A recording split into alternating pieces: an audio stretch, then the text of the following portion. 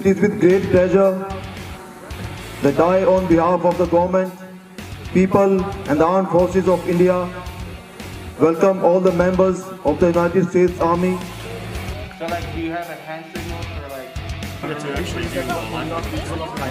There's no better symbol to our commitment to this region's security than the U.S. soldiers working alongside our Indian partners. This exercise provides an excellent opportunity for professional and cultural exchange as we train and learn together.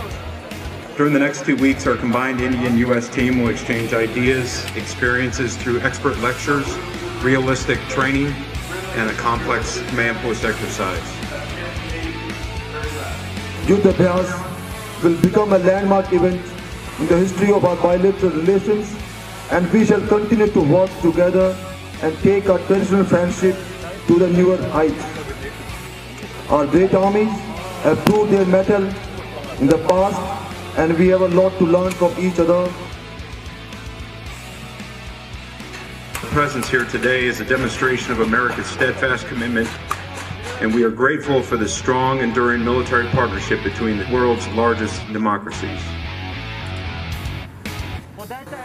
We share your perspectives about countering terrorism with a firm conviction and joint determination. We have to break the nexus between the terrorism, weapons of mass destruction, and drug trafficking. We find ourselves in a challenging, uncertain times during this global pandemic that has greatly affected both our countries.